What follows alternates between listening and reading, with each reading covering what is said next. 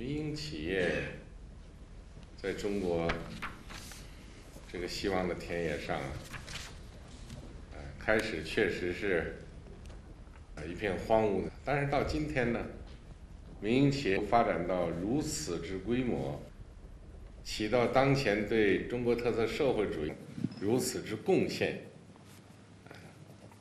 确实是很了不起的。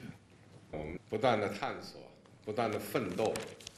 不断的去啊克服困难。